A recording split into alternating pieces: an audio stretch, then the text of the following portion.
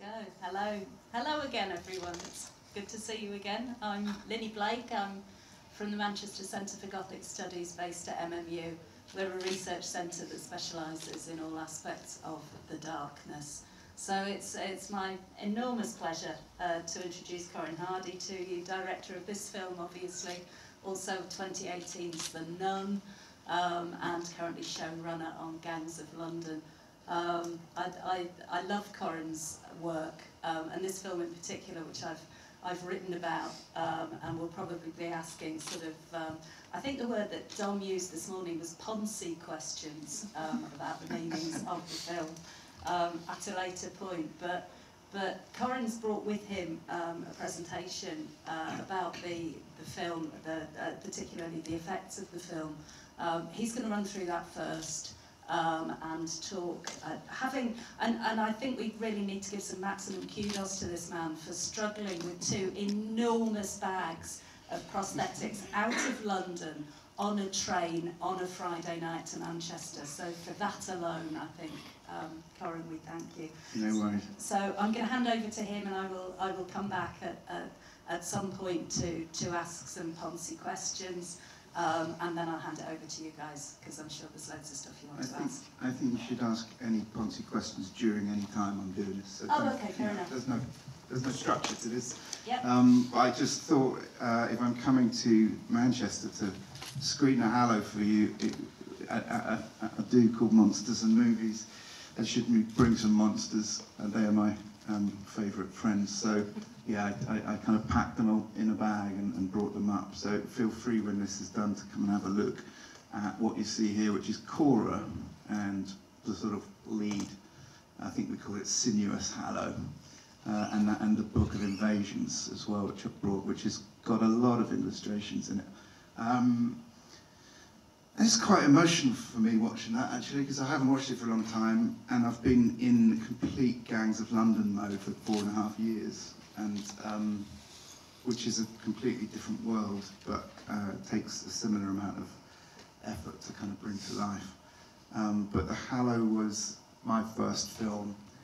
In you know, we made it in 2014, and it took me eight years to get it from coming up with the idea um, working on it originally with Tom DeVille, a, a, a writer I collaborated with, and then getting it kind of uh, financed and then rewriting it and then uh, eventually going to Ireland and shooting it all over Ireland. And it was sort of about 75% location uh, in the middle of nowhere in, in the, the peat bog fields of Ireland, largely in the rain. And um, it was a mission. Um, I remember, you know, the, the, you can probably tell a lot of the inspirations. I'm sure they have some of your favourite movies too. I wanted to do a, um, a creature feature that, that sort of took time to expose itself as being that, but that is ultimately what I wanted to make. Um, but, but to sort of play with different sort of subgenres of horror uh, along the way. So I, I originally was my one-line pitch was kind of, I want to make Pan's Labyrinth meet Straw Dogs. And it was inspired by a lot of 70s movies, um, Straw Dogs and films like Deliverance and Alien, and, and then monster movies like The Thing and, and Evil Dead and The Fly. And it was sort of wanting to do my own version of, of uh, you know, a kind of horror movie, which was a little bit of a love letter to monsters um, with a mythology based in fairy and folklore, Irish folklore. Um, and I knew that I didn't want to do a kind of straight gothic fairy tale that just felt fantastical, as much as I love that too. Um, you know, something like Ridley Scott's Alien was this sort of benchmark in my head of a, a, like a high quality movie that had this incredible mythology and great performances and was kind of a haunted house movie on a spaceship with a monster that had been really like incredibly rendered.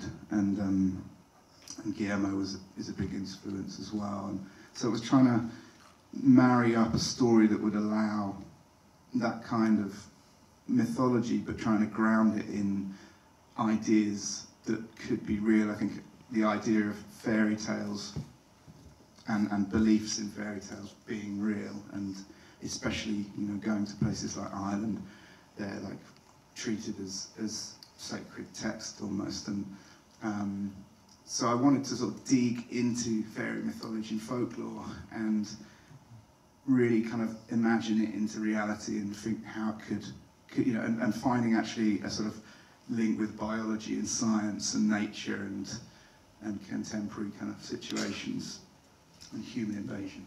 I'd, I'd really like to ask about the Irish background to it because mm. this is this is what I've written about because I, i am working currently on on contemporary Irish horror and particularly the Irish horror of the of the post-crash period and the ways in which it engages with that. Um, do you have any um, any Irish background yourself, or was this a, something you came to more sort of intellectually, or uh, were you scared by the Irish in childhood, as I was? I wasn't, I, and and actually after making this film, everyone assumes and thinks I am Irish because I've got I a funny sounding name, but uh, I, am not. I think I've probably got a little bit of Irish blood there, but uh, no, it was it was really you know, looking at monster, you know, folklore and, and, mythology and trying to find a place that you could get lost in. And so, you know, I, I think I thought about Scotland or, you know, there, there's similar mythology in Cornwall, Scotland, Ireland, Wales, and, and anywhere that I guess you go a little bit more far-reaching and you can and you get into real nature and forests and mountains. And that idea that the book Invasion, Book of Invasions is based on is that when humans sort of arrived and they invaded nature and they drove the, the beings into the sort of darkness and away, you know, into the shadows and into the trees. So naturally you've got the cities and fairy folklore probably doesn't hang out too much in the cities and stuff, but uh, that was where it came from. I, I did then, we did a lot of research into folklore and it is obviously enormous and there's so many different fascinating ideas, creatures, rules, so actually part of the challenge in coming up with what was originally called the Good People. Can I switch the uh, onto my laptop and then I can just show some visuals? So I've brought my original artwork and books. I, I always start in my sketchbooks here and you can't obviously see what's in these so I've put, put it onto my laptop. So forgive me if this is a bit erratic, but I've, I've just dug up a load of my old original documents. So originally the film was called The Good People. And this was, so I made The Hallow, I shot in 2014. This was after about four years of work, and this was in 2010. And this was like put together to try and get awareness from producers and financiers. And my first thing here is a different kind of fairy, and it was sort of taking a look at fairy folklore and trying to imagine how it could become terrifying. And it was a case of limiting the amount of rules and folklore, so we could only concentrate on a certain amount. Otherwise, they get there's so many. You know, there's, there was a great idea that I think, for instance, to trick a changeling into uh, admitting it's a changeling, you have to like boil some eggs and um, like uh, it, it, almost becomes too uh, complicated to, to render visually. So we, we, we sort of boil it down to a certain amount of rules. And I sort of put together photos like this, which was actually my girlfriend in a tree. Um, and then I was drawing. A lot of what you see here was the first wave of how to do it, and, and you know, budget limitations also played a factor in what I could and couldn't do. There was a lot more monsters originally. These were Spriggans. But I love this idea that these creatures were actually kind of almost formed out of the, the, the rot and the infections and things in, in the forest itself and the, like almost like rotten leaves and animal bones and things like that.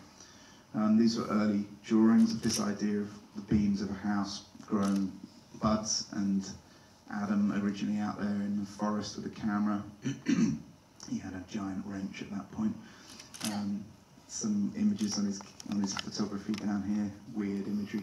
That scene in Jaws I always loved in Jaws 2, I think, when you see the photo coming through the shark's eye.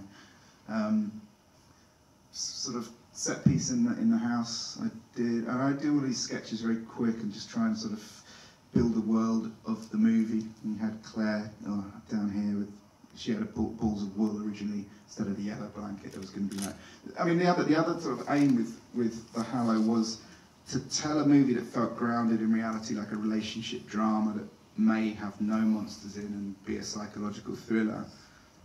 But as the movie goes on and it there is almost a point in the middle, which is the car starting when you first see them. It ramps into an actual fairy tale. So there's, there's sort of imagery in that second half where you see the, the, the sort of the woodsman, you know, corrupted, turning into a creature. You have sort of the changeling, you have the, the banshee, and you have um, these sort of more classic fairy tale ideas, and the look of the whole film gets progressively more subtly heightened, you know.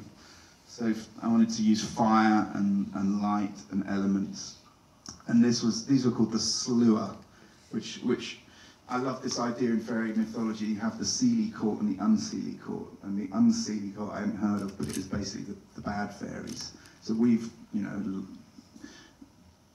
become accustomed with fairies being these like twinkly little Tinkerbells from Disney and you know and fairy stories, but a lot of even kids' fairy stories are pretty dark actually, and they deal with changelings and baby stealers and stuff.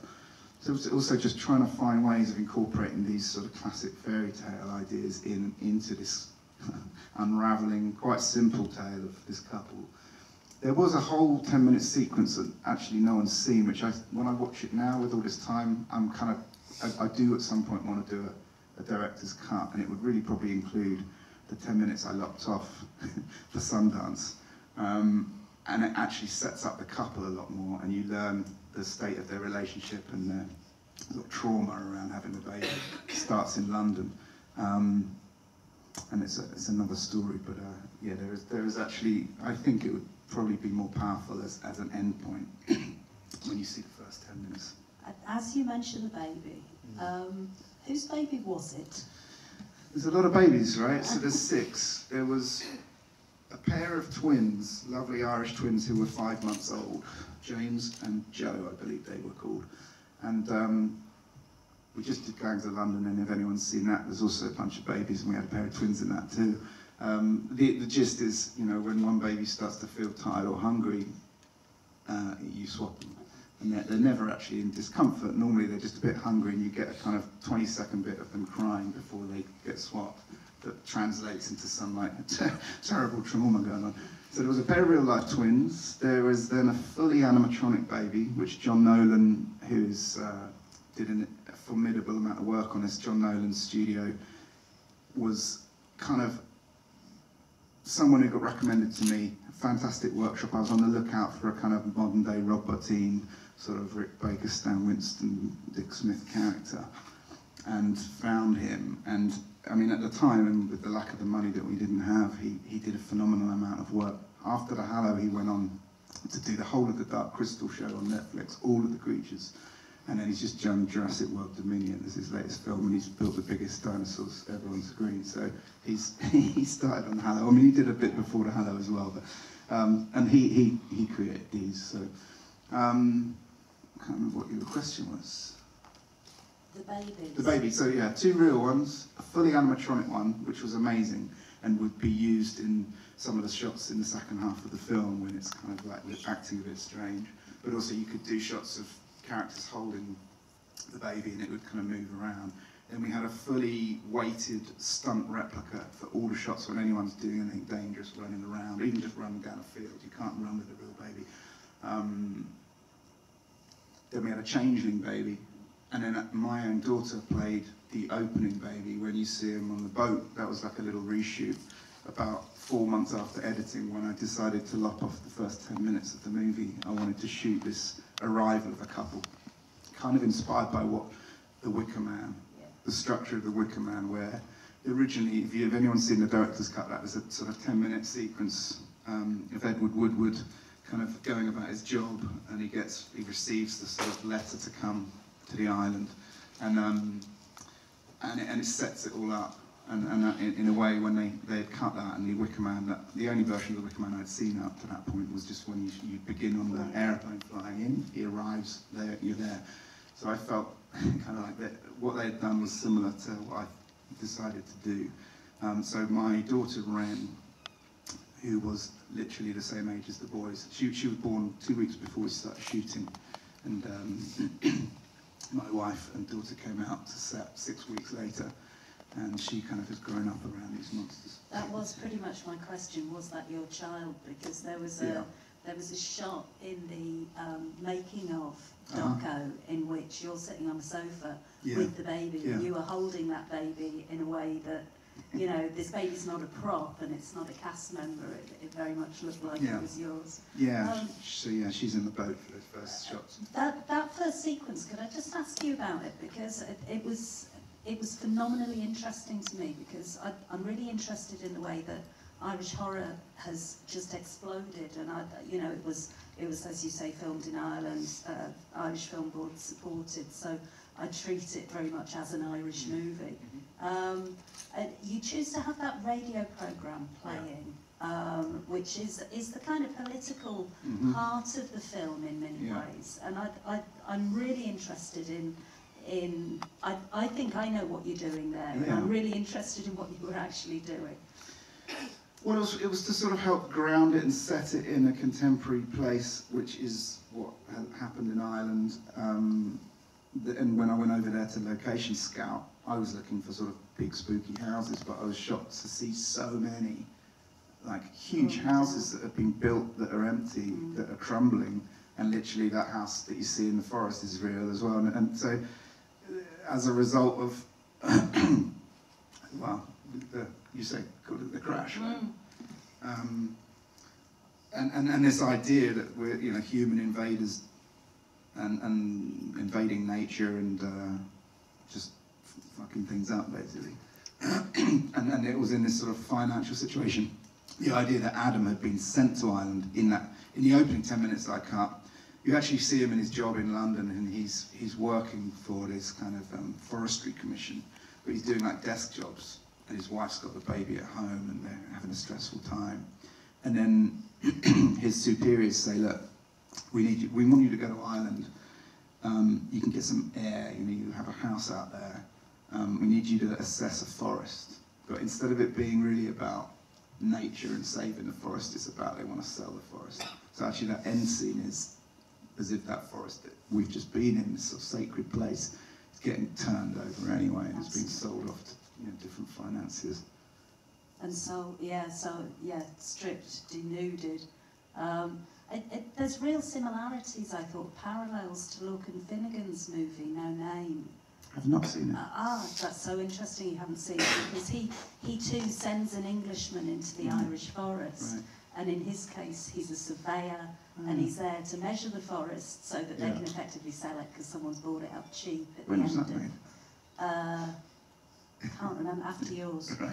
Um, you'd obviously seen yours. Yeah, cool. Um, and, and, you know, something terrible happens to the Englishman in the forest in both of these Sure. films.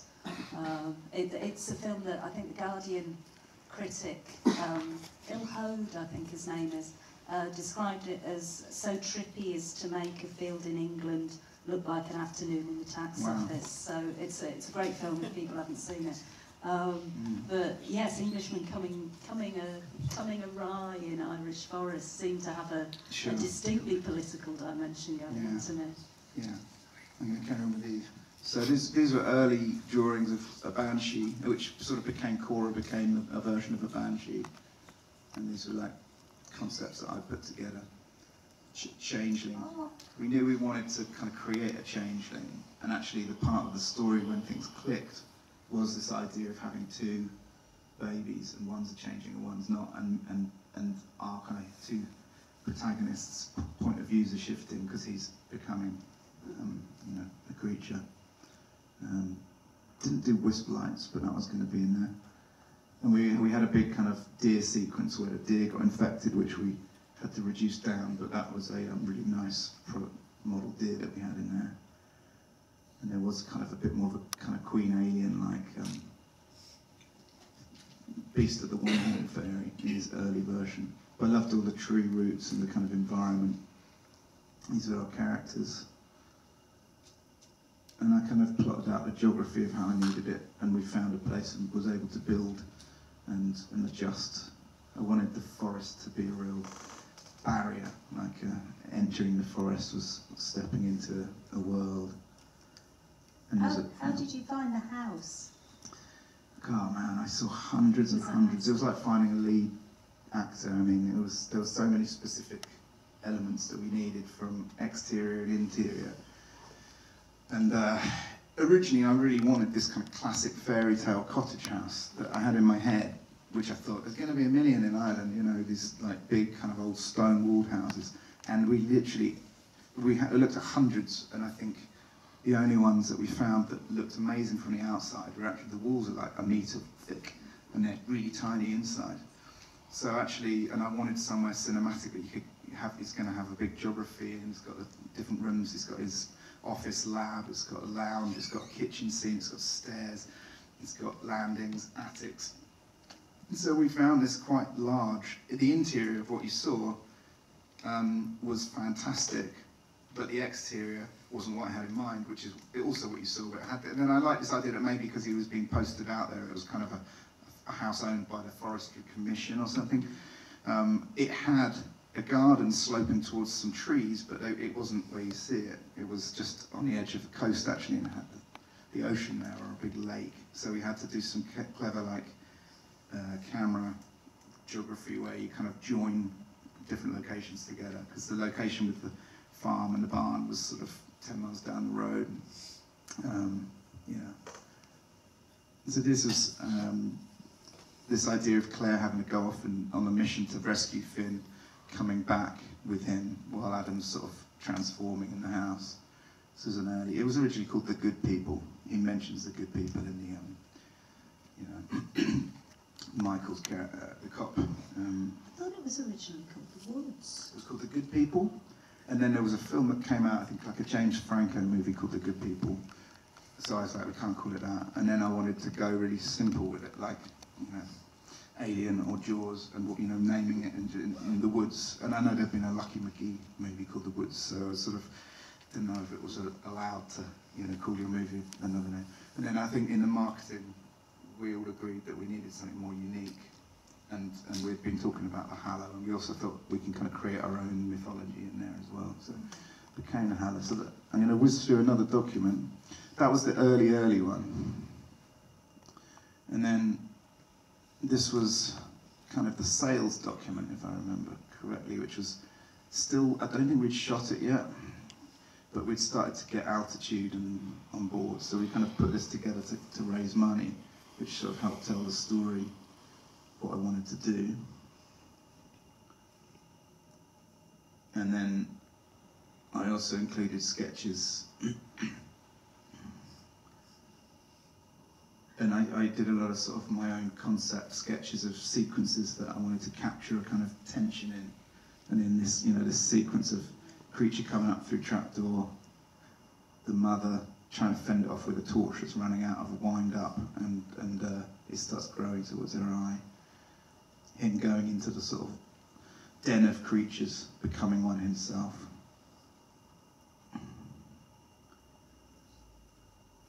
And then I did a sort of series of prosthetic designs for his transformation as he starts to change.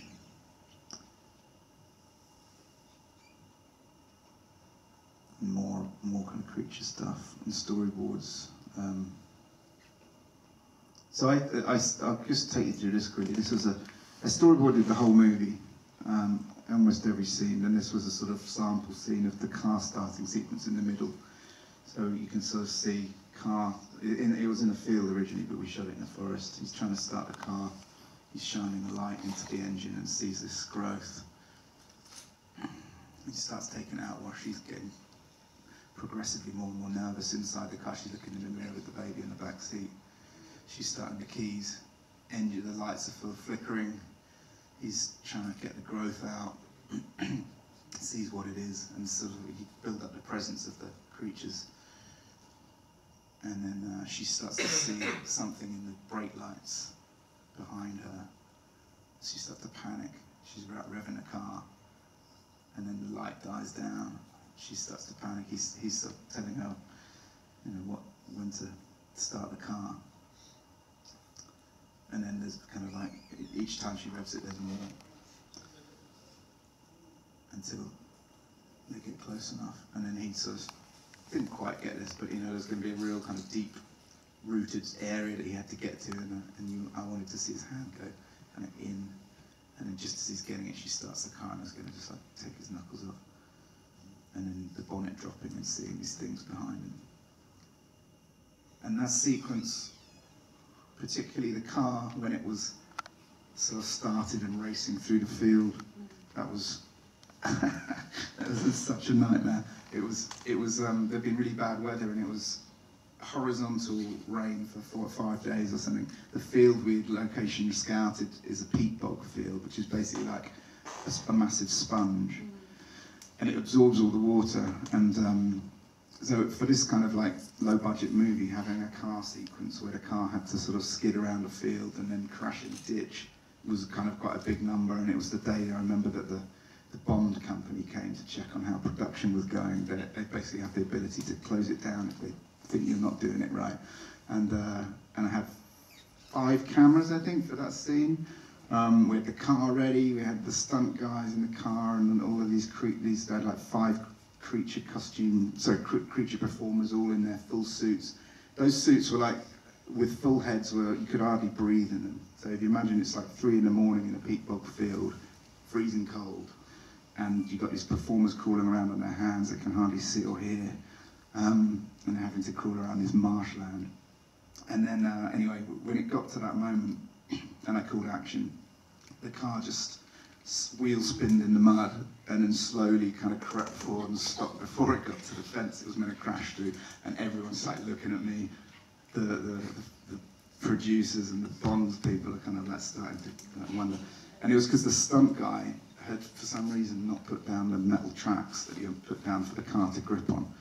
And uh, it was all looking terrible at that moment. And we actually had to get a quad bike to like cable tie onto the car and pull the car through the field and then raise the quad bike and push effects and stuff like that. So challenges of, of shooting this kind of stuff. And, and most of the film was shot on location, isn't it? Oh yeah, yeah. Pretty much. It's, all it's of all shot on location, and then we shot um, the attic in the house and the den, the creature den, uh, were the only two main sets that were shot sort of um, in, a, in a small studio in Ireland, Roger Corman's studio. Um, and uh, but you know stuff like her going in the lake. That's really Bojana Novakovic going in the lake at four in the morning in November or something. It was also just like, and I, and I was like swimming in the lake, pushing the camera um, boat along because we didn't have anyone to no divers or anything like that. So yeah, we had some. The whole shoot was I think it was like 28 days. It was one of those ultra memorable. I'll never forget it. Uh, uh, but it was like every day was absolute madness. I, trying to make it. I, I, you hear about cursed movies. This sounds like a blessed movie, and then no one actually died.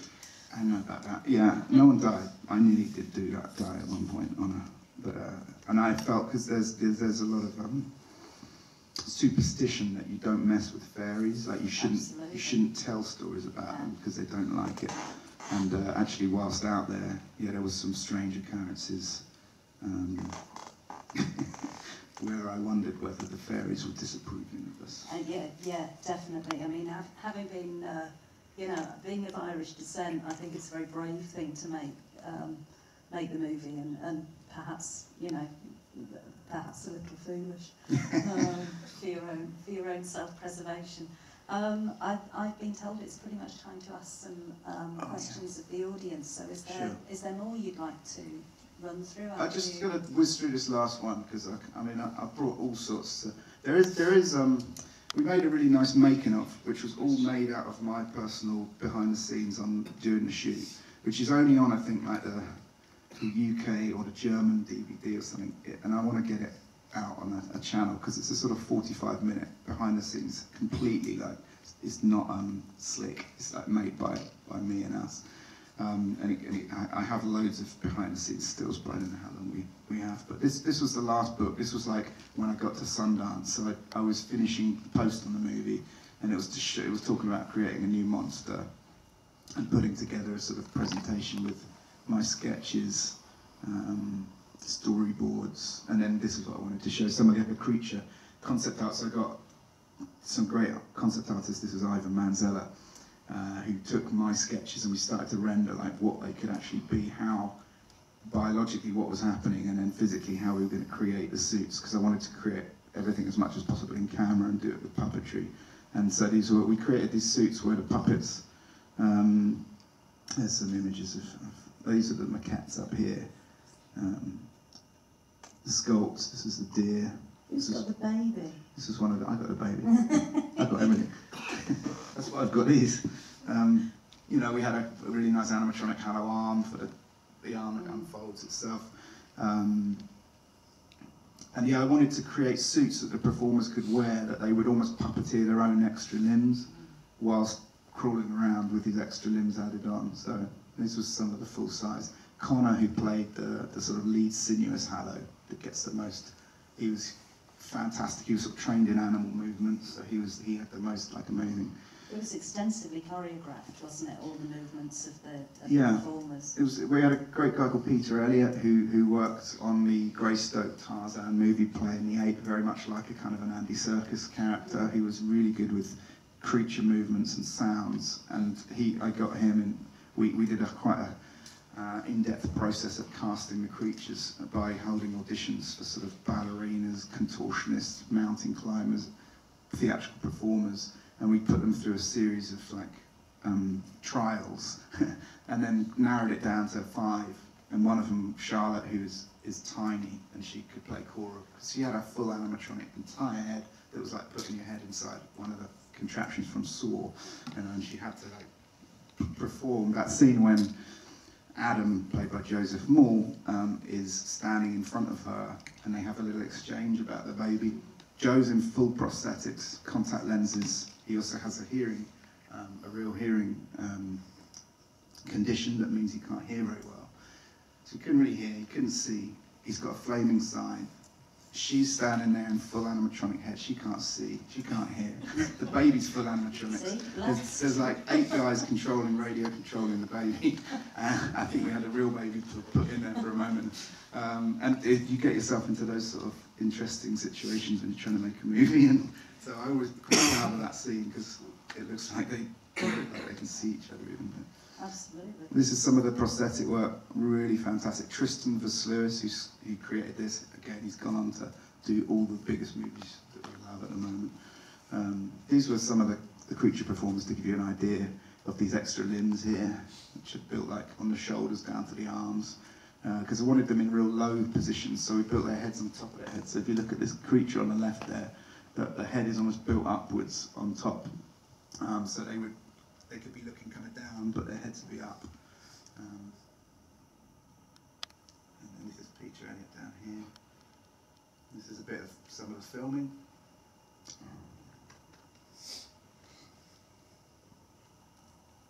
And then a bit of visual effects, and we did obviously use quite a lot of visual effects, but subtly to erase things. This was the animatronic changeling. This was kind of what the house looked like, but it wasn't in the woods, and then we put the woods in. Cora. That, this is sort of, you can see the performer's arms just here. So it was a way of actually doing it in camera, and some of the shots with the grade, you just couldn't see the arms, otherwise you needed to like, visual effect them out. So yeah, should we do some questions? Absolutely. Thank you very much. Questions? Anyone ask a question? I've brought two of the last ever Hallow t-shirts that I had printed, and I've brought two copies of The Nun, so I can happily throw them out to you if you're There's brave enough. incentive for you guys. I think, yeah, I think Yeah. Lee Hodgkinson also had a question maybe, is he here? Would you like to ask your question, and then we'll come back to you in a sec. Uh, great film, by the way. Thank you, man. Uh, what it is, it's take away the focus slightly. Yeah. Uh, pick up from, the owl. It said you were speaking about doing a movie version of The Crow, you know, a while back. Yeah, Is it something you'd still be interested in? they made The Crow, but just show it in in? videos. Yeah. In the future? Yeah, I love The Crow. I'm, uh, you know, I spent four and a half years nearly making it, but I'd rather talk about the Hallow. I'm just wondering whether to throw you a t-shirt or not. and let's have some questions that are to do with the Hallow. Not great this mic, Fred, you'll have to speak up loud. Who who was that? Sorry. Hi there. Um, Hello. um, I'm glad that I managed to get it. I almost missed the entire thing, um, but I'm glad that I managed to get a seat. Me Um, too. Uh, I just wanted to ask, like, with that last scene with the baby, how much of that was actually prosthetic, and how much of it was like effect? There's a lot of, I mean, almost all of the scenes in that last half with the baby that you're seeing a mixture of all these different versions. So it sort of was dictated that obviously if there was any like drama scene close up, it's a real baby. If it's um, any sort of action going on, it has to be the animatronic one or the stunt one. Um, then there's some visual effects enhancements going on, and then actually the, the changeling when it came apart was was intended to almost resemble that sort of old school stop motion feel and it's a, it's a visual effect combined with a puppet. Um, and I wanted to almost play with Adam's deteriorating point of view from when he's starting to get infected and you know he's getting these flashes and he's seeing that, that, that changeling kind of rendered. That's like when you're in full 100% fairy tale mode in a way. So you're seeing that this actual changeling come apart. You're seeing Adam transformed in the forest. Would you like a medium or a large Hallow t-shirt or a copy of the Nun? Uh, can I get a medium shirt? please? Yeah.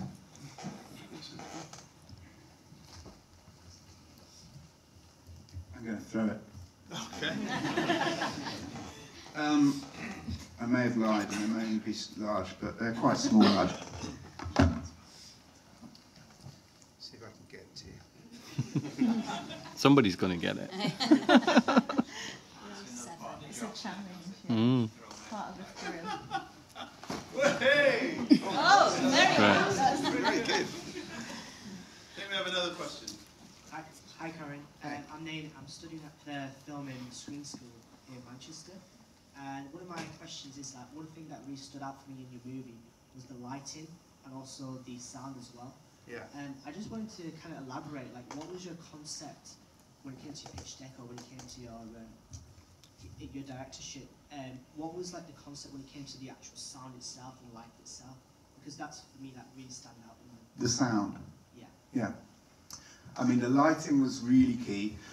The cinematographer Martijn van Broekhuizen is a Dutch DP. It was the first time we worked together, but I'd heard lots of things about him. And actually, I'd had a DP on board to shoot this, and then he, at the last minute, had to he had sort of owed someone else a movie before me, so he disappeared. And actually, as I got into pre-production, had to find a DP quite quick. Martijn, who I've worked with since on everything, and he shot all of my gang stuff. Um, he's a he's a master of light. I mean, he's a real like artist, and uh, you know, like a Dutch kind of art house kind of DP. So I kind of wanted to combine his like beautiful art house cinematography with my heavy genre vibes, and that's what the, the kind of the balance helped the tone of the movie feel like grounded but fantastical and it sort of like merged together. Um, but also in, in terms of like horror movies and atmosphere and mood, but also with the halo built into the sort of mythology of how light's used.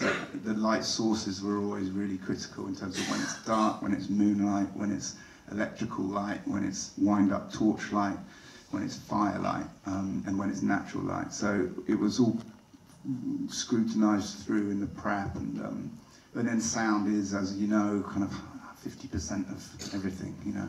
And I, I worked in um, Steve Fanagan in, in Ireland, fantastic guy, and we, I just keep layering and layering and layering. So there's a lot of, you know, sound effects and natural sound and weird stuff. We did all the creatures ourselves, so I was able to. kind of stuff. um, we did, you know, we had a lot of fun creating the, the creature sounds and trying to actually build the kind of strange. The closer you get and towards the end, there's this sort of communication, like a family almost going on. And we didn't want them to just be roaring and stuff, but yeah. Okay, we've probably got time for one last question. This is almost the last T-shirt that exists. Hey, nice. So- It was illustrated by Dave Lupton, who did all the illustrations in the Hallow book and did the Nun book and does all my illustration stuff.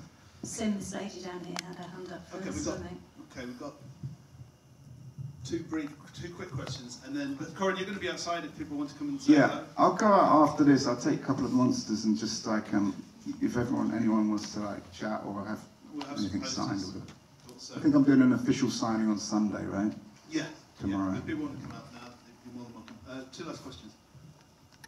Thanks. Hi, Corin. I'm Danny. Hey, Danny. Hi. I really liked it because I really like folk horror in general. Nice. And um, me and my friend John we were speaking just as it ended, and we were wondering, because you probably wrote all the backstories, but you know, Con, the guy with the shotgun.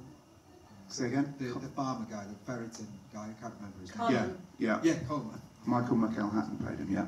Yeah, right. Um, his his character was the motivation for actually staying there. Was he considering himself more of like a protector for other people to warn them off, or was he wanting to stay to sort of see his daughter? I think that's a good question. I think, I think it was he. He never wanted to leave because his daughter was taken one day, and so he, although he's terrified and living in fear, he's also wanting to be close to her. He's an, he's an emotional wreck. He's also is trying to protect people. Just not very good communicator.